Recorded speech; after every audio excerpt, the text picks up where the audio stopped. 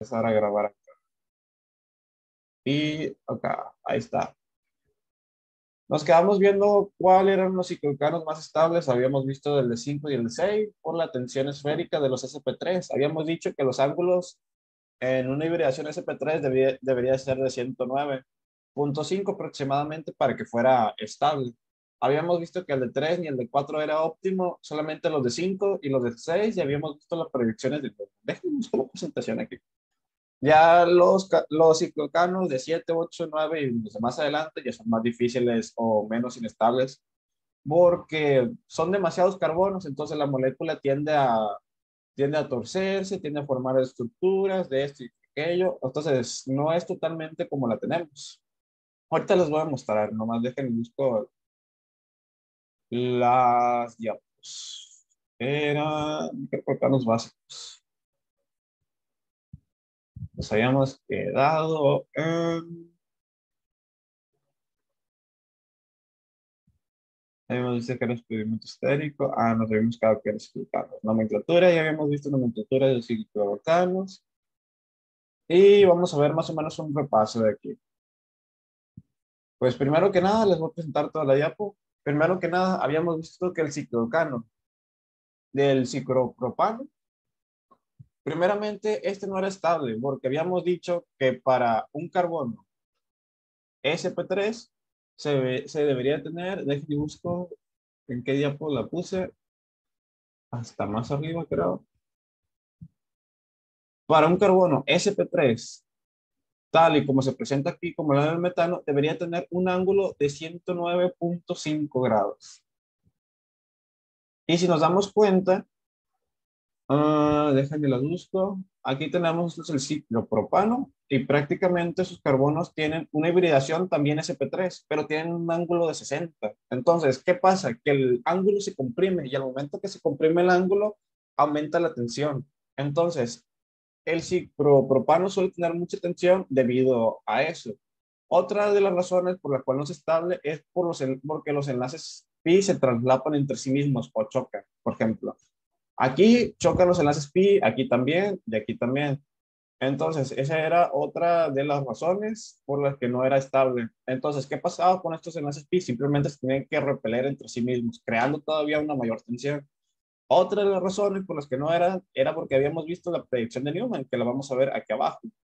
Y si nos damos cuenta, la predicción de, Newman de un ciclo propano, los hidrógenos del carbono de atrás de aquí y los de acá pues van casi juntos, entonces van casi, casi eclipsados, por lo tanto existe tensión de esa parte también.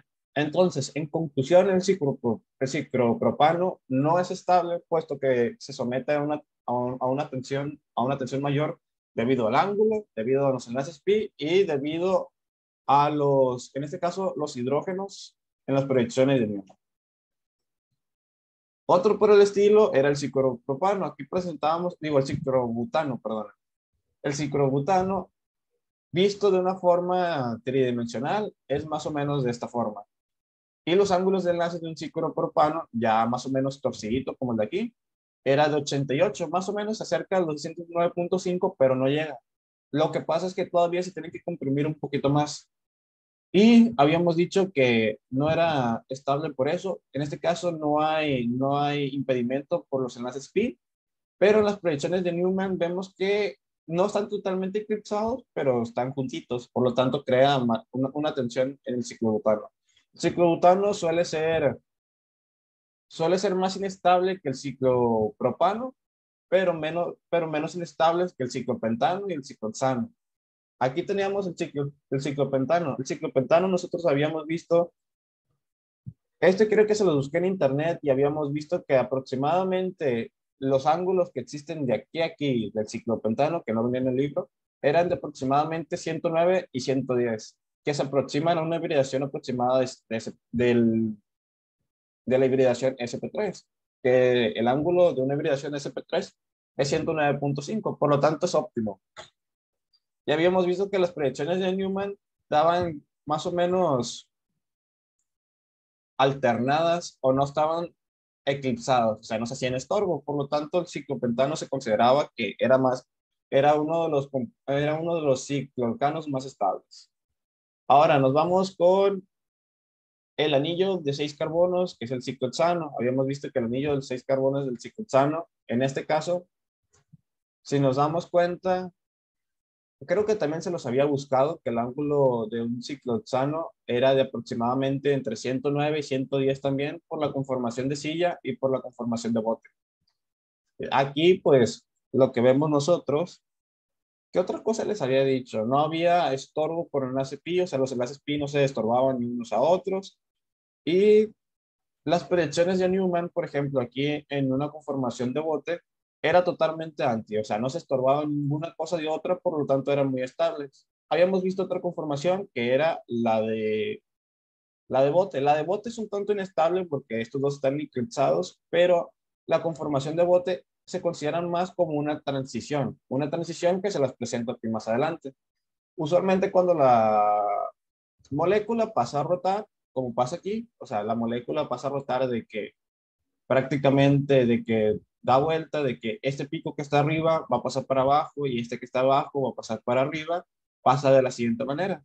Se eleva la energía y queda una forma de media silla que se presenta aquí adelante, donde prácticamente el carbono de aquí más o menos queda al, al mismo nivel que el de acá. Vas a hacer de bote, o sea, las dos puntas pasan a estar hacia arriba también se dice que se suele formar un bote torcido. Entonces, la conformación de un bote torcido es mucho más estable que la de un bote. Por eso se dice que tiene estos bajos y estos altos, porque aquí forma un bote torcido, aquí forma el bote normal, otra vez el bote torcido, pasa a la media silla y otra vez la rotación de la molécula. Aquí lo que pasa es que la punta de la izquierda pues empieza a bajar y queda más o menos de esta forma. Entonces, la conformación de silla y la conformación digo, la conformación de bote y la conformación de bote torcido se pueden considerar más o menos unos transiciones del rotamiento de la conformación de, de la conformación de silla. Se presenta más o menos de esta manera. Aquí lo más importante y como resumen que se deben de grabar es que los anillos de 5 carbonos y de 6 carbonos siempre van a ser los más estables. Ya los de 3 y 4 no se consideran tan inestables y los de 7 y 8 para arriba ya tampoco. Los, más, los anillos de 5 y de 6 carbonos suelen ser los más estables por estas razones. Esto va a ser muy útil porque se va a ver mucho más adelante, pero ahorita no. Pero es una de las cosas que les tienen que quedar claras. Ahora, esto nuevo, nos quedamos aquí yo creo que la vez pasada. Entonces, habíamos visto, Ahora lo que les voy a presentar, qué es una posición axial y qué es una posición ecuatorial en una conformación de silla. Bueno, lo que vamos a tener aquí es que una conformación de silla está conformada de la siguiente manera. Vemos que el eje se considera que es este y aquellos carbonos que están más o menos sobre acostados, que no están, que están acostados, se podría decir, o sea, que están, más o menos lo podemos ver con una, con una analogía de la Tierra. Básicamente nosotros tenemos la Tierra y por el centro pasa el Ecuador. Entonces el Ecuador, pues básicamente, pues pasaría por aquí. Y las que están por el lado, todas estas verdes, se llaman ecuatoriales. Más o menos la podemos hacer una analogía con el Ecuador de la Tierra. Y a las que están por arriba y a las que están por abajo se les suele llamar axiales. Entonces, a la posición que va hacia arriba del hidrógeno o hacia abajo se le llama axial y a las que van hacia los lados se les llama ecuatoriales por forma del ecuador. O sea, se lo pueden ver como una analogía. Ecuatoriales van por los lados y axiales van arriba o, o van hacia abajo. Otra de las formas que podemos ver es, por ejemplo, estas. Todas las verdes nosotros vemos que están más o menos por los lados, se llaman ecuatoriales, y las rositas que están hacia arriba, en este caso hacia abajo, se llaman axiales. Se puede ver o se puede apreciar de una mejor manera, como puede ser esta, que es una vista lateral, vista, vista desde un lado de, una, de un ciclo hexano de conformación de silla. Y todos los que están más o menos por el ecuador se consideran que se llaman ecuatoriales y todos los que están por arriba o los que están por abajo se les llaman axiales. Esta es vista de una manera desde arriba, si nos damos cuenta. Estos se llaman ecuatoriales y estos se llaman axiales. Hasta el momento hay dudas de cómo, de cómo ¿Hay dudas hasta el momento de todo lo que hemos visto para identificar cuáles son axiales, cuáles son ecuatoriales? A ver. Ah, aquí está otro ejemplo, básicamente. Axiales son las que van hacia arriba, con estas tres, o hacia abajo. Ahorita les voy a enseñar la forma en las que se debe escribir esas cosas. Pero tenemos que identificar que las que van hacia arriba o las que se van hacia abajo son axiales y las que van hacia los lados se llaman ecuatoriales. ¿Salen? Sí. ¿Tienen dudas hasta aquí más o menos? ¿O para enseñarles? Para ver lo siguiente. Ahorita les voy a enseñar yo cómo se deben escribir los enlaces en los, en los en la forma de sigla. Entonces, ¿qué podemos notar de peculiar en estas imágenes? O sea, si nos enfocamos primeramente en este carbono, nosotros vemos que tenemos un axial hacia arriba y un ecuatorial. Si nos damos cuenta, el ecuatorial, ¿cómo está apuntando? Está apuntando hacia un lado, pero está apuntando en diagonal hacia abajo. Si nos percatamos de eso. O sea, es una como que observación. Y si nos damos cuenta en el carbono de acá, en vez de estar apuntando en diagonal hacia abajo, está apuntando en diagonal hacia arriba. ¿Sí? Y el axial de este ya no va hacia arriba, sino hacia abajo. ¿Por qué se consideran estas maneras? O sea, ¿por qué se ponen los enlaces de esta forma? Todos los enlaces de este ciclo, ciclo hexano, de forma de conformación de silla, van alternados, si se dan cuenta. Este ecuatorial va en diagonal hacia arriba y este ecuatorial va en diagonal hacia abajo. Simplemente para qué? Para no hacerse estorbo uno al otro. Y este axial va hacia arriba y este axial que está de vecino va hacia abajo también. Simplemente para no, para no hacerse estorbo. Ahora, si nos enfocamos en el otro vecino, también nos damos cuenta que el axial va hacia, va hacia abajo. O sea, este está hacia arriba y este está hacia abajo. Simplemente para que no se hagan estorbo. Y otra cosa importante que nos damos cuenta, cuando un axial va hacia arriba, el ecuatorial, ¿cómo va? De diagonal hacia abajo. No sé si se dan cuenta. Y cuando un axial es hacia abajo, ¿cómo va el ecuatorial? De diagonal hacia arriba. Sí, más o menos se, dan cuenta de, de, lo que está pasando aquí o de las ideas que estamos tratando de ver. Todas las formas, manden. No, que sí, que sí. O sea, todas las formas que nosotros nos damos cuenta van a ir así. El axial va hacia arriba, el ecuatorial debe ir en diagonal hacia abajo. El carbono vecino. Como el axial de este va hacia arriba, el otro debe ser hacia abajo para no estorbarle.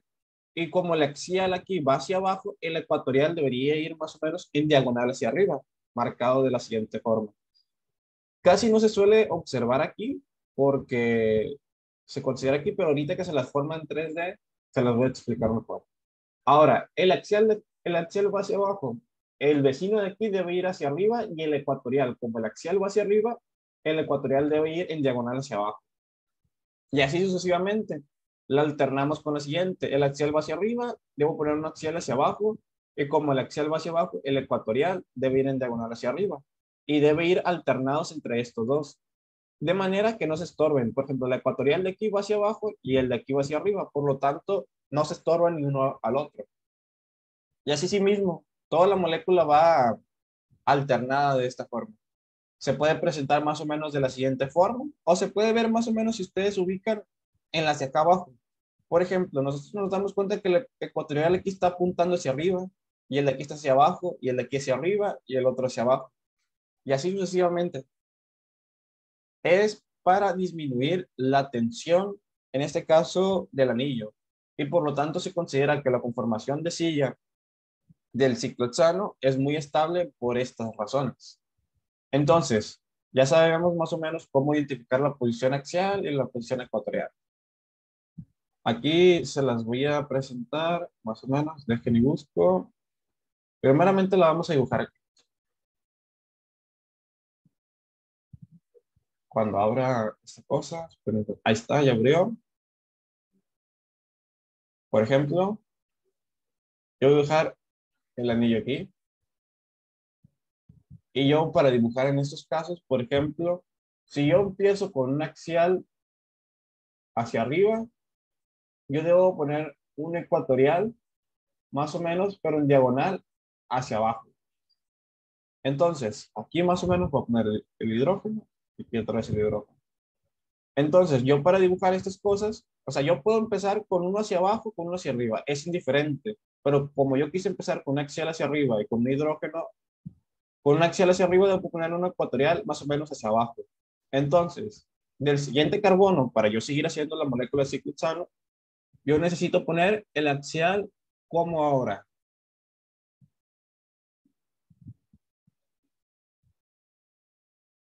Hacia abajo, ¿no? Y si yo pongo un axial hacia abajo, ¿cómo me debe quedar el ecuatorial? Arriba, hacia arriba, más o menos de esta forma, que se vaya representando, así, ¿sale? Entonces, yo puse el axial hacia abajo, como aquí hacia abajo, acá de forma alternada debe ir hacia arriba, y el ecuatorial más o menos debe ir hacia abajo. Aquí le pongo los átomos. Este está hacia arriba, entonces el de aquí yo lo debería poner hacia abajo para que no hiciera estorbo. Y el ecuatorial más o menos hacia arriba. Vamos a ponerlo así. Este va hacia abajo de forma alternada, yo no necesito poner aquí arriba. Y como lo puse hacia arriba el axial, el ecuatorial debe ir más o menos hacia abajo, para que no haga estorbo con este. Ahora me falta el de aquí abajo. Yo veo que estos dos están hacia arriba, por forma alternada, este debe ir hacia abajo, más o menos. Bueno, aquí lo que voy a hacer yo es quitar este y poner una línea punteada para indicar que va por atrás. Bueno, no me queda bien escrito. Mm. Mm, bueno, más o menos que se sobreentienda. Y si yo puse el axial hacia abajo aquí, ¿cómo debe ir el, el ecuatorial? Más o menos hacia arriba, ¿no? Entonces yo lo voy a poner de esta forma, como que más o menos está indicando que está yendo hacia arriba. ¿Sale? Entonces, más o menos se entiende cómo se deben establecer las estructuras de la conformación de silla y la razón por la que, es, por la, que la conformación de silla es muy estable. Ahora, esa es la manera nada más como de cómo escribirlo. Ahora, si nosotros lo queremos ver de forma tridimensional, lo podemos llegar y ver aquí. Ok. Por ejemplo, aquí me salió el ciclo hexano, que básicamente sería la misma de este. Pero, si les quedan dudas aquí o algo, pues simplemente se puede borrar. Si me dejara seleccionar, está.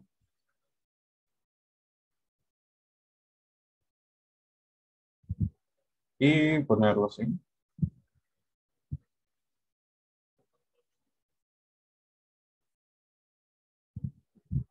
Ahora,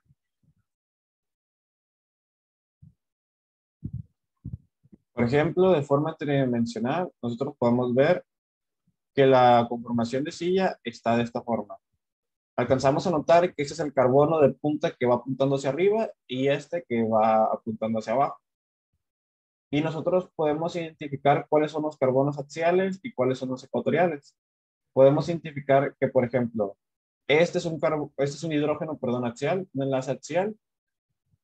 Este también es un enlace axial, pero en este caso, este va hacia arriba, este va hacia abajo, y el enlace ecuatorial aquí va hacia abajo, en diagonal hacia abajo, y este en diagonal hacia arriba. Con la idea de que, por ejemplo, estos dos no se estorben. De que, por ejemplo, si nosotros empalmamos y queremos proyectar más o menos una proyección de Newman entre los carbonos de aquí, todos los enlaces queden lo más lejos posible para que la molécula sea lo más estable y por lo tanto disminuir la tensión en ella. ¿Sale? Entonces, nosotros aquí podemos identificar que este es el axial hacia abajo, este es el axial hacia arriba Este es el ecuatorial en diagonal hacia arriba y este es el ecuatorial en diagonal hacia abajo. ¿Sale? Y esa sería una forma vista de lo que es el ciclohexano de forma de bote. Si lo queremos ver nosotros de forma de, arriba, lo podemos formar así. Este es el ciclohexano que nosotros podemos ver de forma normal o que nosotros escribimos. Pero que en realidad tiene esta estructura vista de una forma tridimensional. ¿Sale? Y si lo queremos ver de esta forma, tenemos que tenemos tres axiales hacia arriba y tres axiales hacia abajo también. ¿Hay alguna duda o, o pregunta que tengan hasta el momento hasta aquí?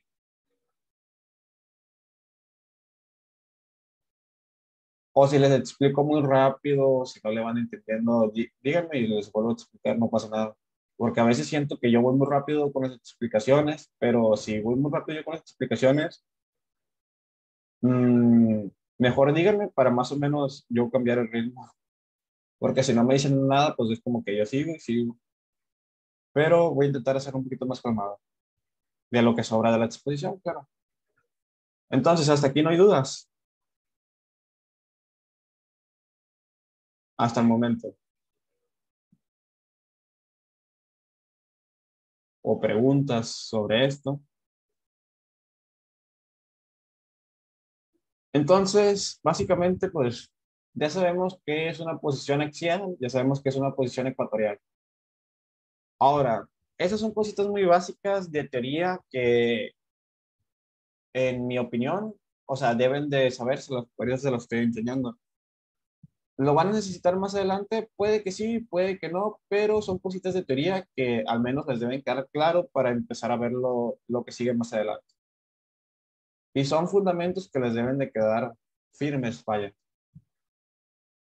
Ahora, conformaciones de los cicloxanos monos sustituidos. Nosotros habíamos visto anteriormente los ciclohexanos en la conformación de silla que no lo teníamos sustituido, únicamente teníamos hidrógeno. Ahora, ¿qué pasa cuando ya tenemos diferentes sustituyentes o átomos diferentes a hidrógenos? Por ejemplo, tenemos el primer ejemplo que podemos ver aquí arriba. Nosotros, en vez de tener un hidrógeno, tenemos un sustituyente de metilo o un CH3 aquí arriba. De forma, en este caso, el hidrógeno está de forma ecuatorial y el metilo o el metil está de forma axial. Entonces, ¿qué pasa cuando la molécula aquí se invierte o está en rotación continua? O está en rotación continua. Pues cuando la molécula rota, en este caso, simplemente la punta de aquí pasa haciendo hacia arriba, dando una conformación de bote, y ahora la punta de aquí pasa haciendo hacia abajo. ¿Y qué pasa con la inversión aquí de forma axial y de forma ecuatorial? Vemos que el metil axial, al momento que rota la molécula, pasa a ser un metil ecuatorial. Y el hidrógeno axial, digo, el hidrógeno ecuatorial aquí pasa a ser un hidrógeno axial. De forma tridimensional podemos ver esta forma que se da la inversión. Donde tenemos un CH3 axial y aquí tenemos un CH3 ecuatorial. Lo cual es un poco interesante y nos puede llevar, por ejemplo, a la siguiente pregunta. ¿Cuál de las dos conformaciones de silla suele ser más estable? En la que el, el metil suele estar en la posición axial o el metil suele estar en la posición ecuatorial. O sea, ¿cuál de estas dos conformaciones de silla suele ser más estable y por qué? Únicamente viendo lo que es esta forma tridimensional.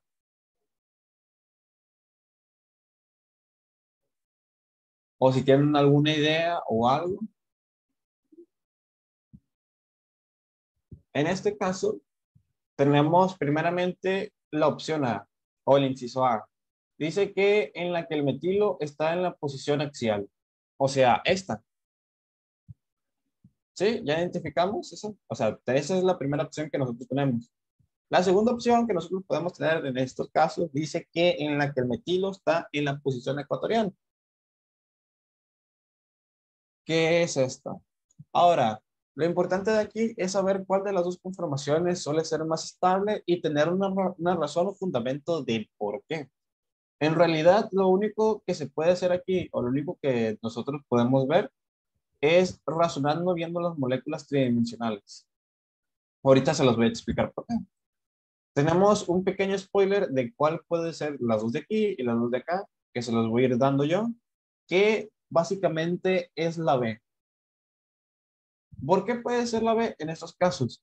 Si nosotros nos damos cuenta, de forma tridimensional en esta, el CH3 suele ser estorbo a los hidrógenos de aquí a los, y a los hidrógenos de acá. No tanto los ecuatoriales, sino a los axiales de aquí. Y si nosotros lo tenemos de forma ecuatorial, no le haría tanto estorbo a los hidrógenos axiales ni a los ecuatoriales. Ahorita les voy a presentar la molécula. Esto se puede presentar de la siguiente manera y básicamente es de esta forma. Cuando nosotros tenemos el metilo de forma axial, suele tener interacciones junto con los hidrógenos vecinos de acá abajo, o sea, presentándolo de esta manera, haciéndolo estorbo, porque básicamente el CH3 suele ser una molécula, entre comillas, voluminosa a comparación del hidrógeno. Ahora, ¿qué pasa si yo lo tengo de forma ecuatorial? Si yo lo tengo de forma ecuatorial, básicamente aquí mmm, no haría estorbo en ninguno de los hidrógenos de lo que son axiales, de por arriba, ni por abajo, ni a los ecuatoriales en estos casos. Por lo tanto, se considera que la más estable en este caso es la B, en la cual el metilo está de forma ecuatorial.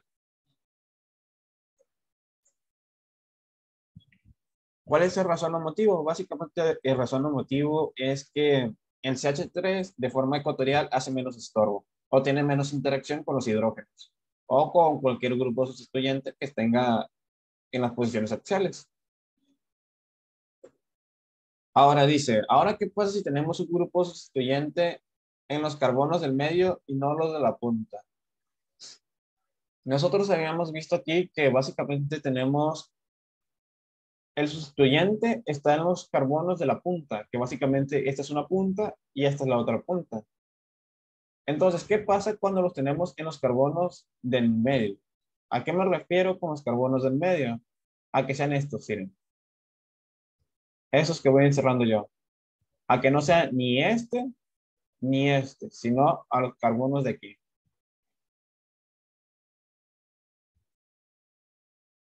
Eh, salen.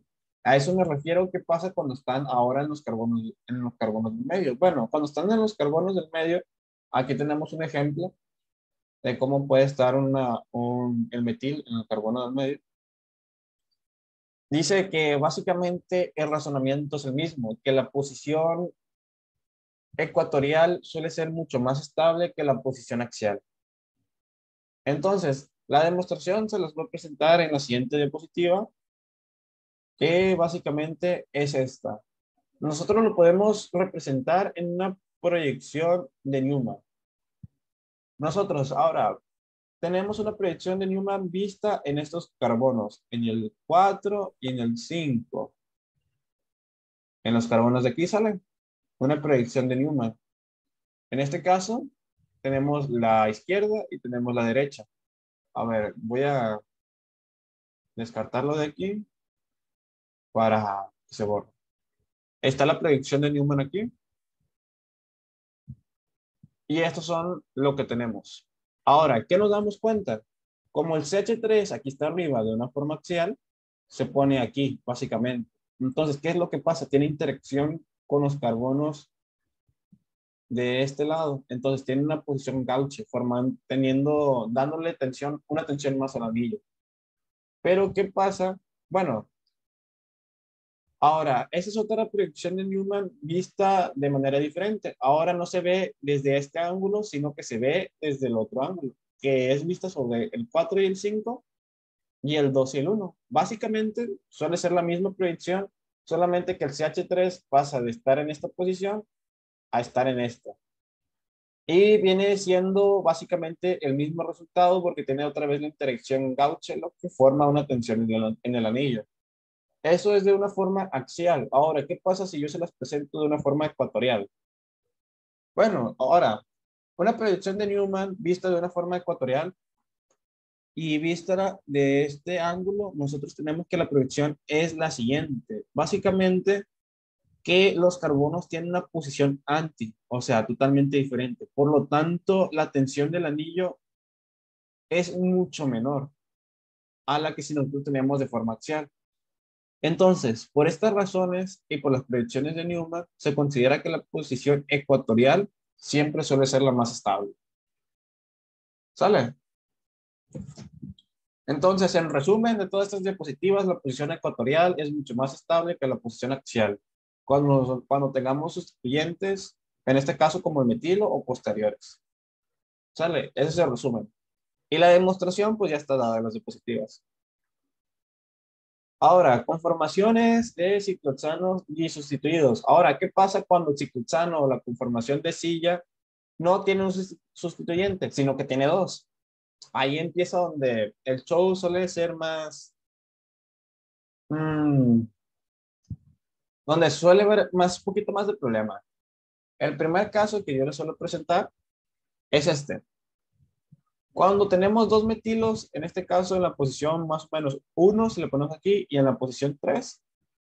Entonces, ¿qué es lo que pasa cuando lo tenemos de forma axial? En este caso lo puse cis porque los dos están volteando hacia arriba. Entonces, ¿qué pasa cuando nosotros, nosotros tenemos de forma axial? Vemos que la tensión entre estos dos o el impedimento estérico de estos dos es mucho, por lo tanto, es muy inestable y es muy desfavorable. Ahora, ¿qué pasa si yo roto la molécula? Y en este caso, estos dos pasan de ser axiales a ecuatoriales. En este caso ya no existe la tensión entre los metilos y nosotros nos damos cuenta y suele ser mucho más estable y la molécula suele estar mucho más relajada en cuanto a tensiones. ¿Sale? Entonces, cuando nosotros tengamos conformaciones disustituidas de esta forma, las posiciones ecuatoriales suelen ser las más, las más estables. Pero ahora, ¿qué pasa cuando no tenemos un compuesto cis, sino que tenemos un compuesto trans? Vemos que ahora yo tengo uno de forma axial y, otro, yo, y ahora otro de forma ecuatorial. Si nos damos cuenta, si hacemos la rotación de esta molécula, aunque la rotemos, esta forma axial va a pasar ecuatorial y este ecuatorial va a pasar axial. Me sigue quedando de forma, pues de forma trans o, o me suele quedar uno ecuatorial y uno axial. Aunque siga rotando la molécula y la vuelva y la vuelva a rotar, siempre en estos casos me va a quedar una forma axial y una forma ecuatorial. ¿Sale? Porque al momento que se rota pasa de posición axial a ecuatorial. Ahora, ¿qué pasa? Aquí, básicamente la energía es la misma, porque tenemos un axial o un grupo metilo de forma axial que nos suele dar estorbos. Y tenemos un metilo de forma ecuatorial que básicamente este no nos estorba. El de aquí sí nos estorba y es el como que nos causa mm, más conflicto, por decir así. Entonces, ¿qué suele ser la molécula? Entonces, cuando la molécula suele rotar, suele bajar este, pero suele subir este. Entonces, el problema sigue quedando todavía ahí. Si nos damos cuenta, el CH3 de aquí, que está de forma, de forma ecuatorial, pasó axial, nos damos cuenta que todavía sigue siendo estorbo. Y este que sí es estorbo y está de forma ecuatorial ahora, ahora no hace estorbo, pero ahora tenemos este que este es el problema. Y se consideran que los dos tienen la misma energía en este caso. ¿no? Uno no es más estable que otro porque simplemente las dos formas son casi iguales. Ahora, ¿qué pasa si yo no tuviera un si yo tuviera sustituyentes diferentes aquí? Si yo no tuviera un metilo, si yo tuviera un metilo, un isopropil, o sustituyentes de, ese, de esa forma. Bueno, el show cambia un poquito más. Se los voy a presentar un ejemplo que, por ejemplo, tenemos sustituyentes de distintos tamaños. Por ejemplo, ahora el, el etilo ya no es etilo, es, digo, el metil ya no es metil, es etil, perdón. Me confundí con el nombre. Ahora, ¿qué es lo que pasa aquí? Tenemos dos formas. Por ejemplo, primeramente tenemos que dice que el etil está de forma axial y el metil está de forma ecuatorial. Y cuando se rota la molécula, el etil queda de forma ecuatorial y el metil queda de forma axial. Y nos dice que esta es mucho más estable que esta. Pero ¿por qué esta forma es mucho más estable?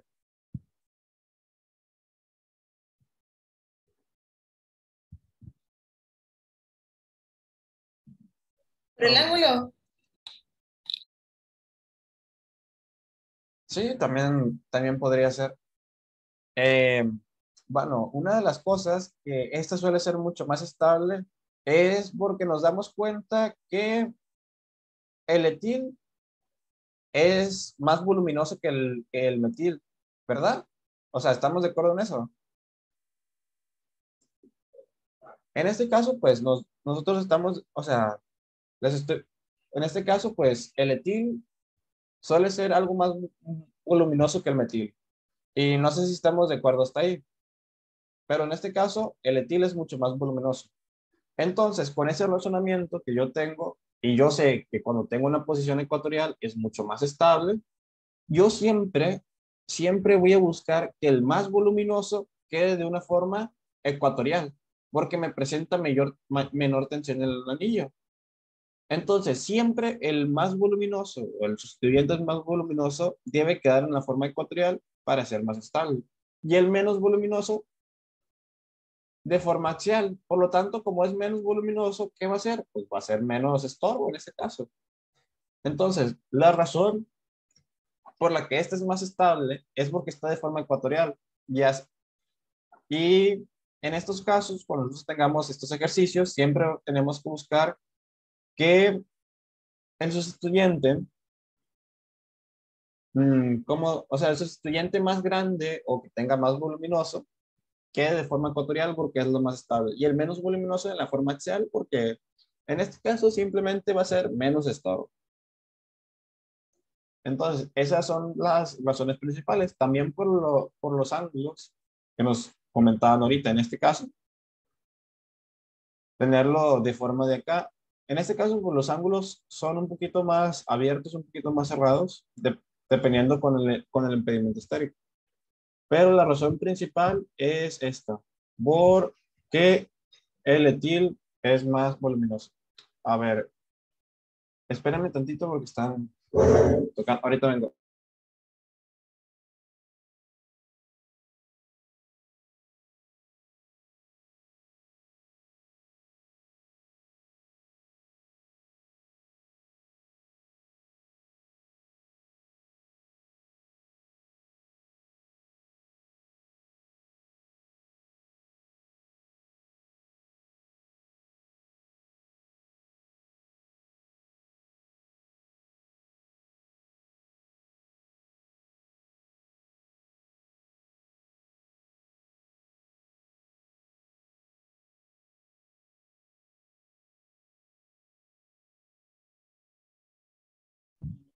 Eh, ahí está, una disculpa por un momento. Bueno, hasta el momento, pues ya habíamos visto que aquí de forma ecuatorial es más estable cuando sean sustituyentes de distintos tamaños, vamos a buscar que el que tenga más tamaño quede de forma ecuatorial. ¿Sale? Estamos bien hasta ahí mismo en el momento. Mm, otra cosa que para mí resulta importante y que el libro casi no se nos especifica es,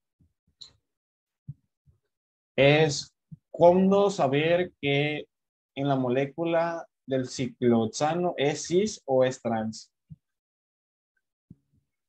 Originalmente, si lo soy sincero, es algo que casi nunca les van a preguntar o que muy poco van a ver, pero pues si les queda más o menos el principio, que básicamente es fácil, o sea, es fácil de identificar al final de cuentas, pues está bien. Se los agrego yo porque considero que es algo importante, más que nunca se los preguntan. Todo lo que estamos viendo ahorita, hasta la teoría, suele ser cosas básicas. Entonces, ahora, enfoquémonos principalmente en esta molécula. Nosotros nos damos cuenta que en esta molécula es trans. ¿Por qué? Porque habíamos dicho que la línea gruesa de aquí era que venía hacia nosotros y la línea punteada era que se iba o llegaba o se iba para el plano de más adelante.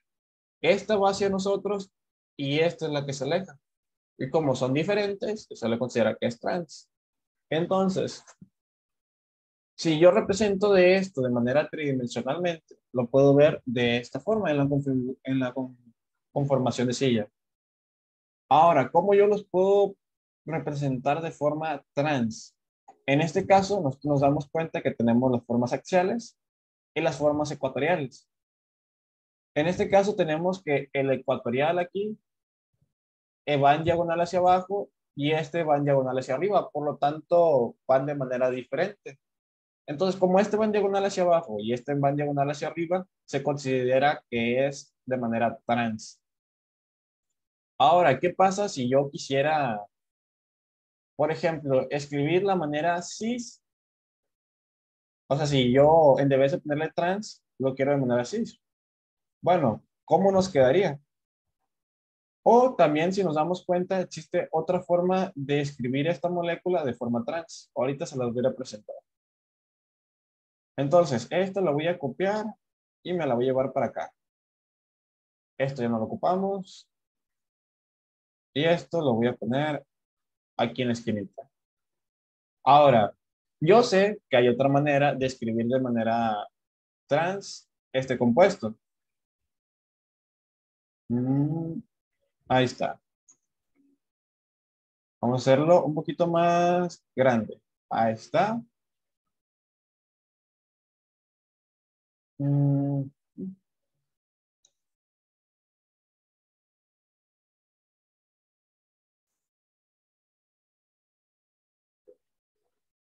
Este más o menos hacia arribita. Este hacia arriba y este hacia abajo. Y aquí voy a dejar que sea carbono aquí, carbono acá. No, este no bueno, quedaría que tendría que ser aquí, acá, hidrógeno e hidrógeno. Si yo represento la molécula que está aquí de manera trans, esta es una forma de escribirla. Pero esta que tenemos aquí sería básicamente otra forma en la que nosotros podemos escribir el trans 1,2 dimetilciclohexano en su conformación de silla. Si nos damos cuenta, es trans porque en este caso este va hacia arriba y este va hacia abajo y por lo tanto están totalmente separados. Pero, ¿por qué? En este caso, ¿por qué se escribe esta y no esta? O sea, ¿qué tiene de mal esta o cuál es la desventaja que tiene esta?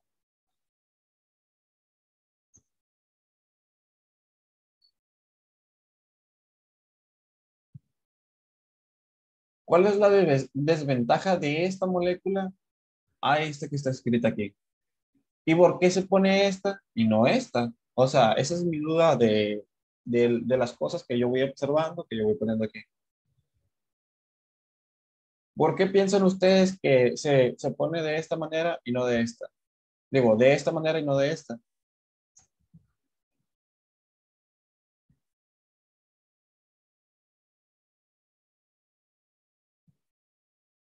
Debido a que es más estable porque el metil está más alejado de los otros carbonos. Incluso si los dos son ecuatoriales, pues terminarían siendo otras, no se estorbarían tanto. Y se estorbarían más de forma axial. Exactamente. Es, esa, eh, es por esa misma razón, porque pues esto estando de forma axiales, pues básicamente hace mucho estorbo. Y ya habíamos demostrado que la forma ecuatorial es mucho más estable. Entonces, si yo dejo estas dos, de forma ecuatorial, en parte, como son de forma trans, una va abajo, una va arriba, no se van a hacer tanto estorbo y estar de forma ecuatorial, la molécula es mucho más estable. Por eso se utiliza esta, por lo que nos había comentado. ¿Quién nos comentó? Disculpe, no, no vi nombres.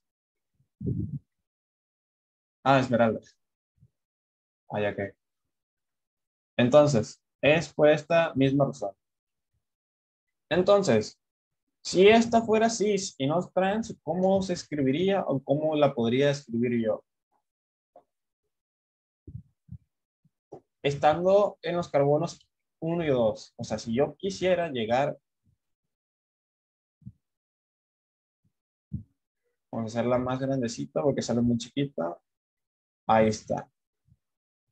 Si yo quisiera escribir esta molécula, pero en vez de trans la quiero cis, yo básicamente lo que tengo que poner aquí,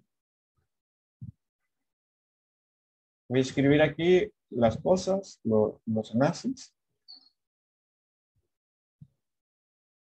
Yo lo que tengo que escribir aquí, si yo quiero que sea de forma cis, Aquí yo tendría que poner un CH3. Aquí podría poner otro CH3. Y el hidrógeno. Y aquí el hidrógeno. ¿Por qué de esta forma? Porque si nos damos cuenta, este va hacia arriba. Y este también de, hacia dónde va? Va en diagonal hacia arriba. Entonces, los dos van más o menos hacia el mismo lado. Por eso se considera que la forma cis es de esta forma. O se puede considerar que también es de esta otra forma.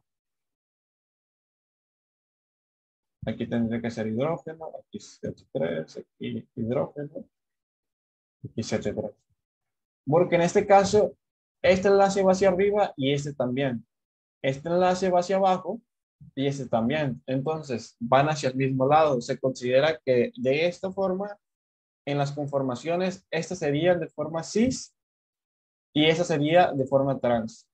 Las diferencias de la forma cis a la forma trans es que en este caso, la conformación que nosotros tenemos aquí es mucho más estable que las de acá, porque tenemos una de forma axial que nos haría estorbo. Y la de acá arriba también. Entonces, ¿cómo identificar qué es y trans? Básicamente, si van los dos hacia arriba, son cis. Pero si uno va hacia arriba y el otro va hacia abajo, son trans, independientemente si es ecuatorial o no. Porque este es ecuatorial, pero ¿qué pasa? Va hacia arriba. Y este es axial, y también va hacia arriba. Si los dos van hacia arriba, son cis.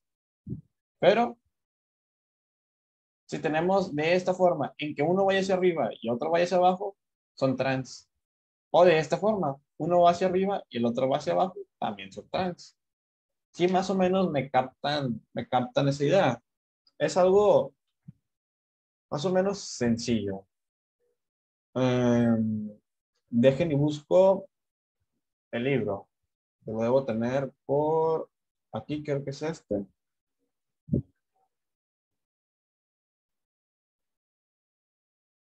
Es en la página, creo que 150. Aquí está más o menos.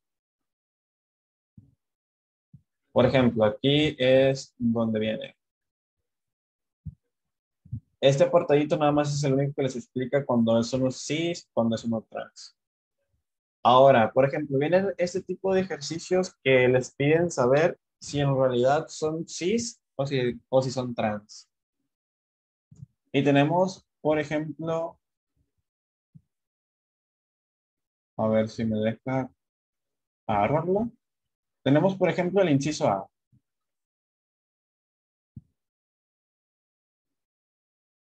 Esto lo voy a borrar ya. Ahora, por ejemplo, tenemos el inciso A.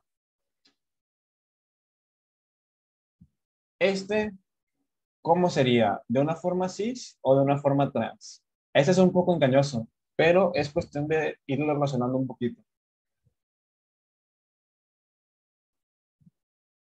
Cis. Uno dice cis, a ver, ¿quién más dice? A ver si son cis o si son trans. Pueden ir identificando aquí. En este caso, si nos damos cuenta,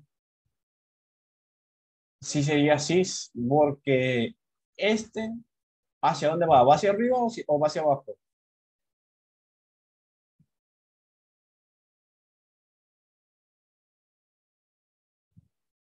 A ver, si inscritos. No se le ponía.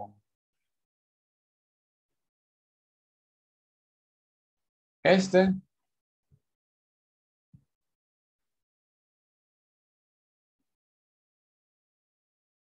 Va hacia abajo. ¿Y este metil hacia dónde va? ¿Va hacia arriba o va hacia abajo?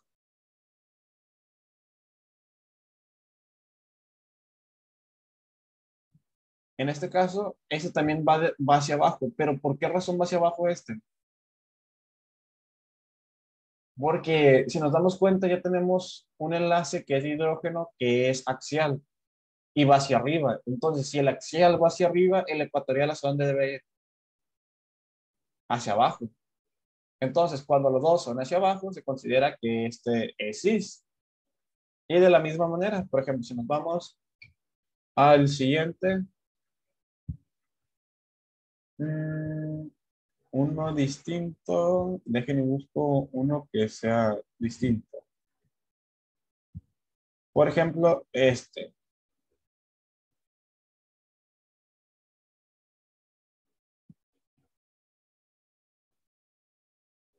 El este. Aquí podemos identificar perfectamente que hacia dónde van los carbonos. En estos dos, estos dos en este caso son ecuatoriales, pero estos van hacia arriba o van hacia abajo.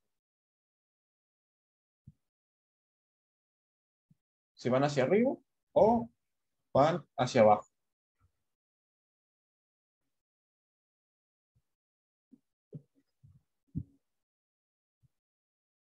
En este caso, ¿cuál es el que iría hacia abajo? ¿El de aquí o el de acá?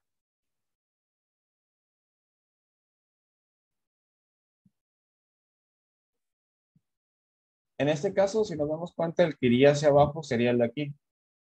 Porque aquí tenemos una posición axial que va hacia arriba. Y si la posición axial va hacia arriba, el ecuatorial debe ir en diagonal hacia abajo. Entonces, esta es la que va hacia abajo. Y aquí nosotros tenemos, pues, la cuestión, la cuestión inversa. El axial, va hacia, el axial va hacia abajo, por lo tanto, el ecuatorial debe ir de diagonal hacia arriba. De esta forma. Entonces, si uno va hacia arriba y el otro va hacia abajo, se considera que es trans. Este es manera cis. Y el otro de acá va a ser trans.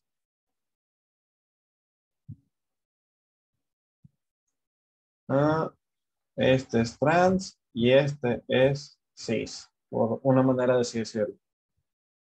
Ya los demás ejercicios que ven aquí ya son un poquito más repetitivos, de que, por ejemplo, este identificamos que va hacia abajo, este también, entonces esto puede ser de forma cis, y así simplemente los van identificando ustedes. Suelen ser un poquito más repetitivos y en este caso pues se los dejaría yo a su criterio si los quieren ir repasando o si lo quieren ir viendo, pero son cositas más o menos sencillo, sencillas. Lo siguiente, en este caso, este tema no se los puse de que grupos extremadamente voluminosos porque es muy repetitivo. En este caso, en grupos extremadamente voluminosos, lo que se debe poner es en la posición ecuatorial porque es donde se hace menos estorbo y es la conformación preferida, si se dan cuenta. Ahora, ¿qué pasa si tenemos dos grupos pues voluminosos juntos? En este caso, por ejemplo, se dice que se representa el cis 1,4 ditet butil cicloxano, que es este que está aquí. Yo lo tengo que tener de forma cis, entonces dice que si es de forma cis, a fuerzas tiene que estar uno ecuatorial y uno axial. Entonces, el que está de forma axial, lo que hace es que está muy impedido por los demás hidrógenos que están en la molécula. Entonces, ¿qué es lo que pasa? que en vez de estar de forma de silla, prefiere estar en la conformación de bote. Y en este caso es la conformación de bote torcido. ¿Por qué? Porque en este caso queda más o menos en la posición ecuatorial y en la posición ecuatorial de esta forma. Entonces, esta molécula, como los dos grupos son muy voluminosos, prefiere estar en una conformación no de silla, sino de bote. En este caso, la de bote torcido. Esto no se los había puesto y creo que lo de las moléculas bicíclicas es lo que viene a continuación. Eh, se las voy a ir presentando. Es esto. En este caso es un nuevo tema. La verdad, ahorita son cositas sencillas que no les voy a pedir que se memoricen como tal, pero necesito que las vean para que después vayan checando por si ven algún ejercicio más o menos parecido o de la misma forma. ¿Qué son las moléculas bicíclicas? Básicamente son, es una molécula con dos ciclos o con dos ciclos fusionados. En este caso tenemos el primer ejemplo, que básicamente son dos ciclohexanos, que son básicamente fusionados entre sí mismos. Está este, básicamente, que suele ser una molécula de pentano fusionado con ay, perdón, fusionado con, con los enlaces que, tiene, que están acá. Otra molécula bicíclica que nosotros podemos encontrar es un pentano fusionado con otro pentano. En este caso, tiene la configuración de esta forma porque es mucho más estable. Si nos damos cuenta, este ciclopentano queda sobre el eje y este ciclopentano está apostado. Es como si este estuviese sobre el eje y este está así, porque es mucho más estable y hay menos tensión en el anillo. Ahora, lo importante de esto es básicamente ver la nomenclatura, porque a veces se ven ejercicios sobre compuestos bicíclicos y les piden cierta nomenclatura. O puede llegar el caso que les pregunten nomenclatura. Que la verdad sí se da, no recuerdo en qué ejercicios de, en los estatales o si no en los nacionales, venía, me acuerdo, unos ejemplos de estos. ¿Cómo se da la nomenclatura? Primeramente, lo que tenemos que identificar de un compuesto bicíclico es el lugar de donde se fusionan. En este caso, si nos damos cuenta, el lugar que se fusionan, estos dos son, vamos a ponerlo con verde.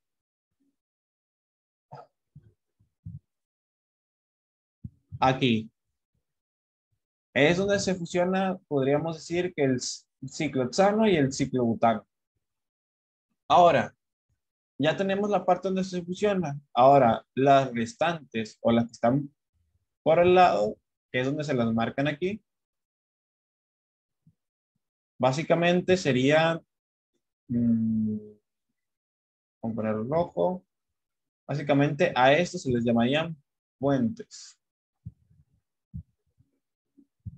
Y puente de acá. Entonces es contar, por ejemplo, que dice puente de cuatro carbonos. Este es el puente de cuatro carbonos y este es un puente de dos carbonos. Entonces, a la molécula se le llama biciclo con la, con la parte de aquí porque es, un, es una molécula bicíclica. Se le llamaría biciclo, se abre el corchete, se pone la numeración del puente más alta a la más baja. En este caso, el puente más alto es este, el de 4, sería 4 punto, en este caso le sigue este, punto 2, y aquí en medio es básicamente otro puente, pero en este puentecito que tenemos aquí, aquí no existe o no tiene carbonos. Ahorita vamos a ver uno, por ejemplo, que sí tiene carbonos para que más o menos vean la diferencia. Entonces sería biciclo 4 por el de acá, punto 2 por el de acá, y el del medio, como no tiene carbono, se le pone 0. Y contamos cuántos carbonos tiene la molécula en total. Si nosotros nos damos cuenta, tiene 8 carbonos y se le llama octano. De esta forma. Entonces, algunos ejemplos más diferentes es el siguiente. Identificamos que la intersección de la fusión suelen ser estos dos carbonos, el de aquí y el de acá. Entonces, Siendo este la fusión de, los, de, los dos de los dos ciclos, nosotros decimos que tenemos un puente aquí, tenemos un puente acá y además tenemos un puente acá arriba. Este nos dice que es un puente de tres carbonos, este nos dice que es un puente de dos carbonos y este es un puente de un carbono en la intersección. Entonces el compuesto se llama biciclo Empezamos del mayor al menor. 3, el de aquí. Coma 2, el de acá. 1, que es el menor, que es el de aquí. Y como la molécula tiene 1, 2, 3, 4, 5, 6, 7, 8 carbonos, se le llama octano. Y esa es la manera en la cual se le puede dar nomenclatura a los biciclos, a los compuestos, a las moléculas bicíclicas, perdón. Entonces, eh, vamos a descartar. Yo básicamente la dejé hasta aquí porque también les quería, o sea, les quería poner algunos ejercicios sobre nomenclatura de estos para ir viendo. O vamos a ir resolviendo algunos ejercicios de aquí del libro. Vamos a ir, por ejemplo, con estos, que son de los más fáciles. Vamos a copiar. Vamos a poner, mm, vamos a abrir un nuevo documento. Y vamos a pegar.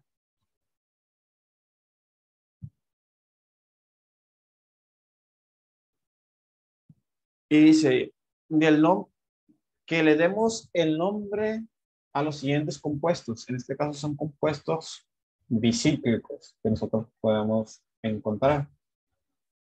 Entonces,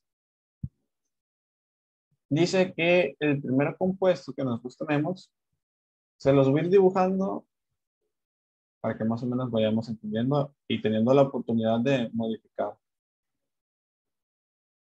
Mm, no me queda totalmente...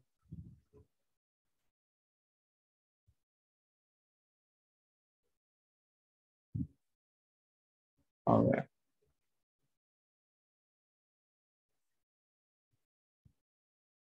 Así que queda más o menos derechita. Y ahora vamos a poner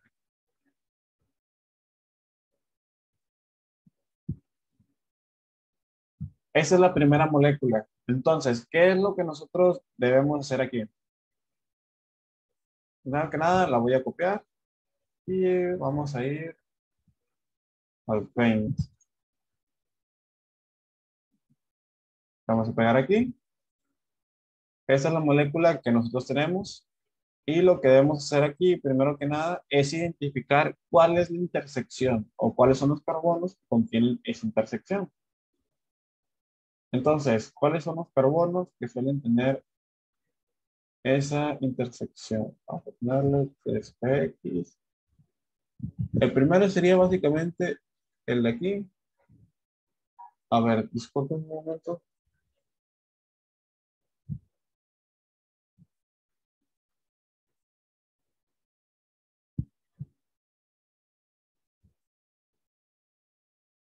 Listo, perdón.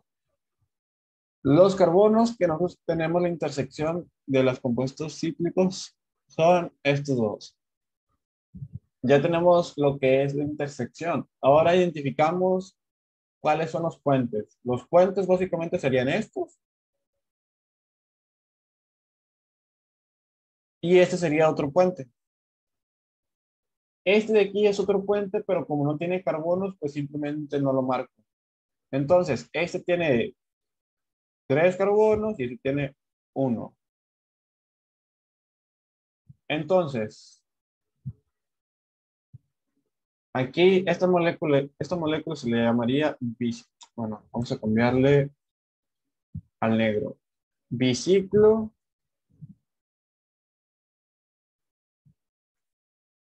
En este caso, vamos a ver cómo le hacía para abrir Mm. ahí está. Es este y me parece que es este, ahí está. Corchetes. Entonces, el, de, el, puente de mayor número es 3 punto, le sigue el 1 y sería el punto 0. Esos serían los puentes. ¿Y cuántos carbonos tiene la molécula? Tendría 5, 6, se le llamaría hexano.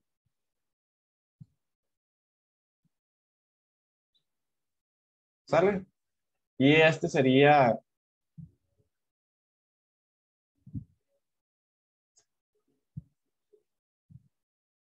el primero.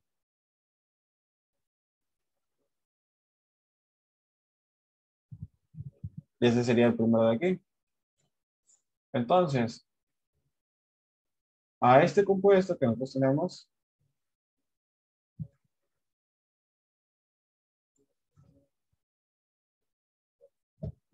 dice que tiene el nombre biciclo 3.1.0 hexano.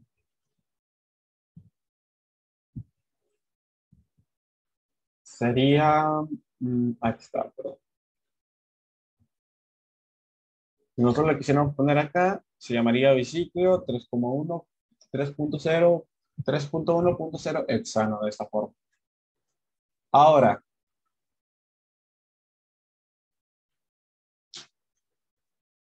si nosotros quisiéramos tener esta molécula vista de, de manera tridimensional, pues básicamente sería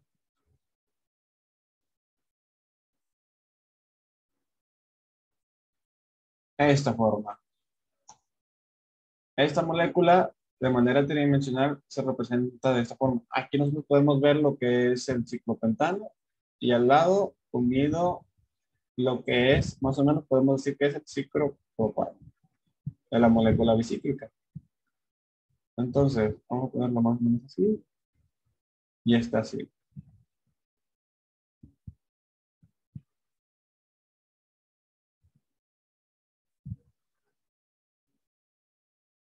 Entonces, esta es una manera tridimensional de esta molécula bicíclica y nos pasaríamos a la siguiente.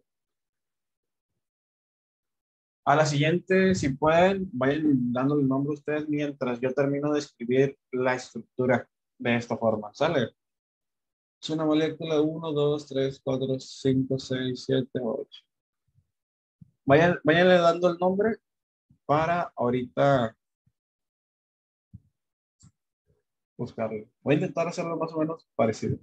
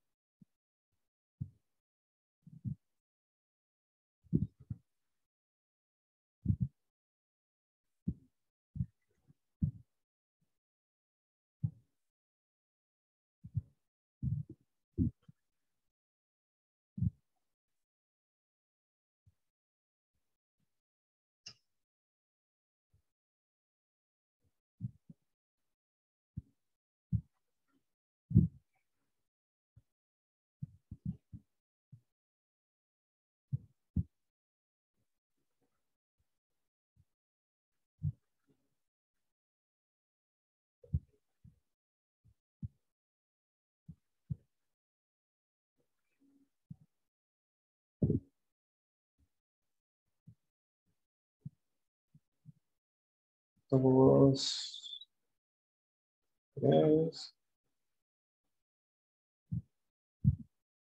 cuatro.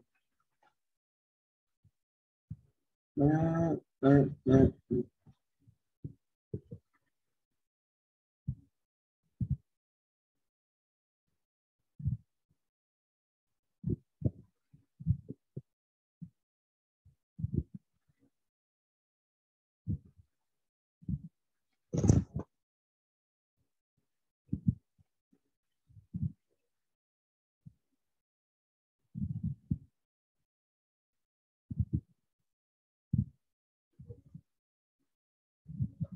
Con menos aquí.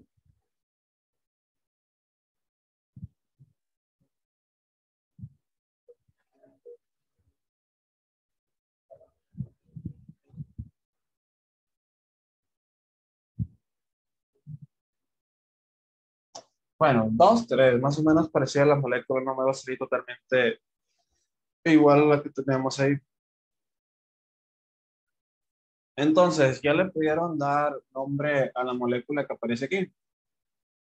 O más o menos tienen idea de cómo la podrían llamar.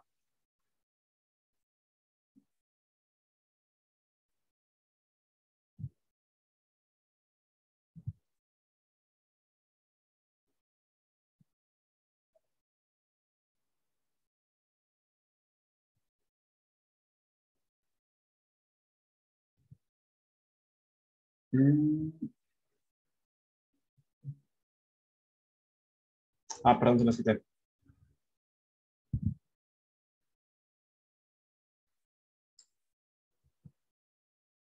Me dicen más o menos cuando pueda empezar el problema o si ya lo resolvieron o si les quedó duda en cómo hacerlo. Ahorita lo vamos a ver.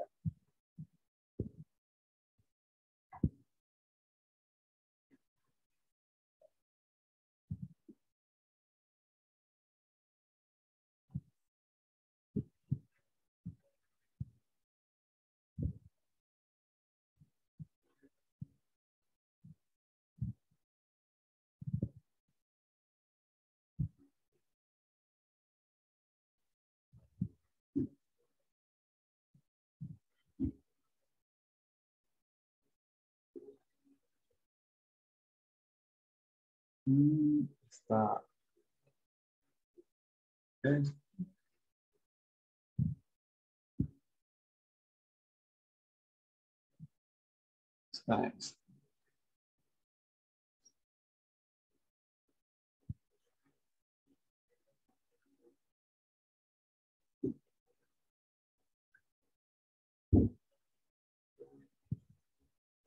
Ahí está.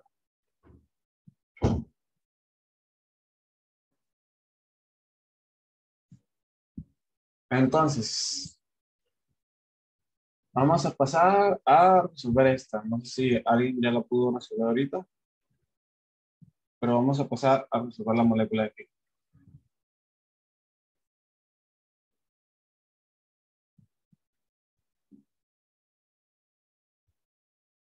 Mm, se ve bien pixeleada aquí.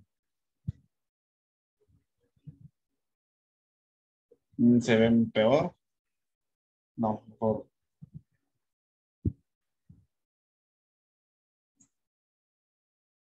Se ve tres, pero pues ahí vamos.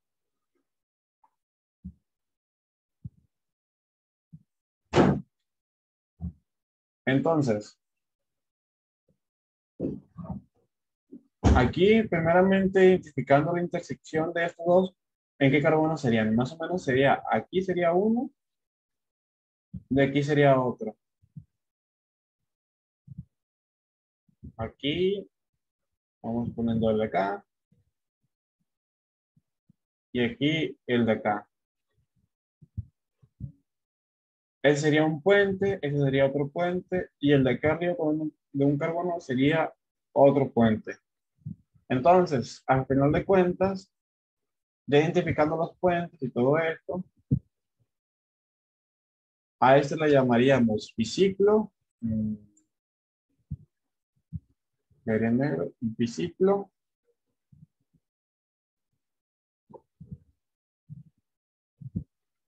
Sería 3.3 en este caso, porque las dos son de 3. Punto 1. Y la molécula de cuántos carbonos es? Es de 1, 2, 3, 4, 5, 6, 7, 8, 9. Sería no nada. No nada. Ahí está.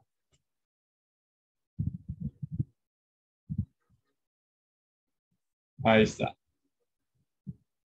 La siguiente molécula de aquí se llamaría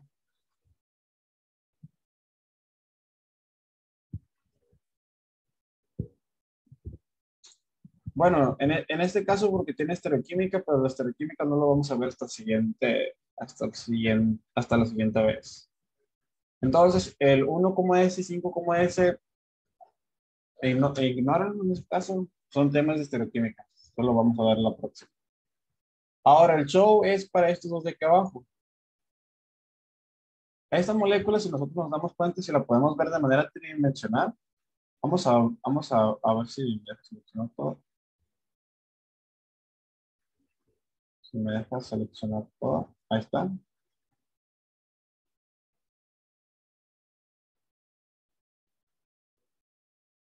Vista de manera tridimensional esta molécula, nos podría quedar de la siguiente, de la siguiente forma.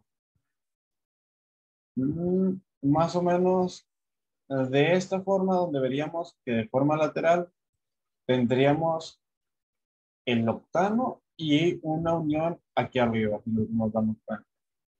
Esta es la unión de aquí arriba y esta sería de forma vista desde arriba, como nosotros la, la estamos viendo. Y la unión de aquí es la que nos causa toda la tensión del anillo. Ahora, estos dos que sobran son un poquito más sencillos en lo que a mí concierne. Yo se los dejaría para que ustedes los vieran ya con más calma y si ustedes le quieren dar más o menos el nombre a estos dos y a este de aquí. Mm, ¿Qué otra cosa les iba a comentar? Básicamente, con esto, ya esto aquí nada más es cuestión de, un poco de lectura, nada más es cuestión como un dato interesante lo que viene aquí. Más, un poco, un poco importante. Entonces, con esto nosotros finalizaríamos lo que es el capítulo 3 con la nomenclatura de, de compuestos bicíclicos. El C y el D, más o menos se los voy a dejar, no de tarea, pero eso se los voy a dejar que ustedes lo hagan, porque ya son un poquito más sencillos en lo que, en lo que siento yo, y más o menos se los voy a dejar de tarea. Es más, también les puedo dar el nombre por si tienen alguna duda después, sería el 2,2 octavo. Y ese sería el nombre de esta otra. Ya vistas de una manera tridimensional, estas ya son un poquito más específicas. Una, una que otra, la, la, la, las Vistas de una manera tridimensional de una forma muy, muy peculiar. Pero con esto nosotros terminamos de ver lo que es el capítulo 3. Básicamente lo que hemos visto hasta ahorita es pura teoría. Otra cosa de los que tenemos que ver, por ejemplo, en el capítulo 4, aquí son puros problemas de que ustedes les van a venir. las proyecciones de Newman están interesantes, un poquito fáciles. De las cosas que pueden venir son de estos problemas y lo que nos quería ver son el capítulo 4. El capítulo 4, de lo que yo recuerde, la verdad, es pura teoría y es muy repetitivo. O sea, lo que estamos viendo en todos los declaración del metano, que ya habíamos visto. Por ejemplo, constantes de equilibrios y energía libre de Gibbs, ustedes son los que lo, lo ven en el capítulo 14. Básicamente todo esto es ver lo que, es, lo que es equilibrio, ver lo que es entalpía, ver lo que es termodinámica, pero aplicada en lo que es la química orgánica. Ahorita les adelanto que pues prácticamente todo esto no lo van a ocupar, nada más como para saberlo de teoría, el dato interesante, la energía de activación y todo eso, nada más como para pura teoría. Sinceramente, si yo me pongo a ver teoría de todo esto, pues simplemente se me va se me va todo el rato de perdida a otra hora y yo considero que es muy tedioso. Es muy tedioso, le diré, para ustedes y es muy tedioso para mí el estar haciendo todas las diapositivas porque la verdad es un chingo de información. Y no les diré que no es importante porque sí es importante saberlo, pero no les va a venir de preguntar en un examen o algo así por el estilo. Entonces, yo considero que esto no se los voy a enseñar yo, sino que este libro, digo, este capítulo queda más o menos como de teoría. Se los voy a dejar a ustedes por si lo gustan leer. Está un poquito largo, la verdad, pero lo que viene la mayormente es pretería. Lo que me interesa a mí ver y lo que vamos a ver en la siguiente clase va a ser esto. Estereoquímica. Esta es una de las ramas más importantes que se va a ver en, en, eh, en, lo que es química orgánica y en estereoquímica, eso es donde ustedes les pueden preguntar más cosas. En cómo identificar un compuesto, en cómo darle nomenclatura a compuestos. En este caso, la estereoquímica se los voy a presentar la otra clase y es lo que vamos a estar viendo.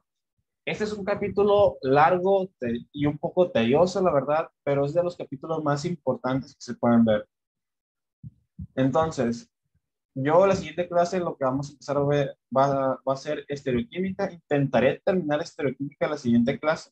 Está un poquito pesadito. Les voy a poner las cosas más importantes únicamente y un resumen de todo, de todo lo que se ve.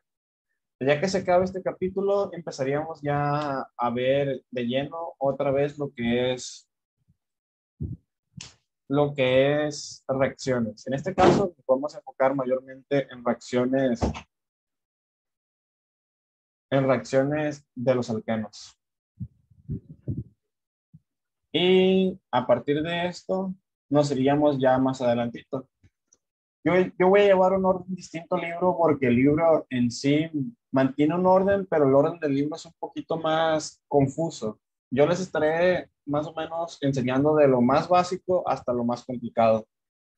Entonces, la siguiente vez que nos vayamos a ver en sesión, el otro domingo vamos a ver estereoquímica. Estereoquímica es un poquito más de las más pesaditas.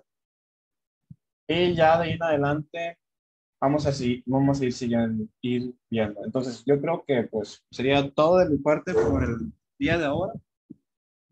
Básicamente lo que quería ya nada más era terminar ver el capítulo Y para no empezar a ver estereoquímica ahora y no dejarla empezada, sino que empezar a ver estereoquímica en una clase para que ustedes no se confundan con todo esto.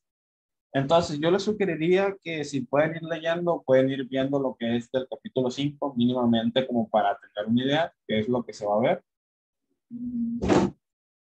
Eh, vayan haciendo. Y por el momento es todo de mi parte. Eh, no recuerdo si les pasé el libro esa semana o la pasada porque alguien me lo, me lo, me lo había pedido y se los pasé. De esos libros básicamente es lo que vamos a estar vamos a viendo todo. No sé si ocupen algo de aquí o si quieren que les guarde algo de acá. Bueno, de aquí pues no tenía nada, pero si ocupan algo de aquí me avisan para guardarlo y después se los paso. Y de las diapositivas pues les tendría, les tendría hecho más adelante. Les diría pasarles estas diapositivas, pero estas diapositivas básicamente son puras imágenes. O sea, yo intenté poner las puras imágenes porque para mí, pues, una imagen explica más que una explicación entera.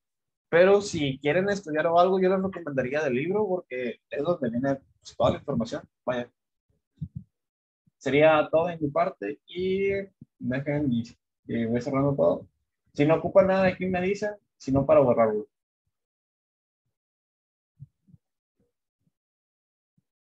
Bueno, Ok, muchas gracias. Nos vemos. Sale, nos vemos y hasta la próxima clase. Aquí está. Gracias. Dale, que tengan un domingo.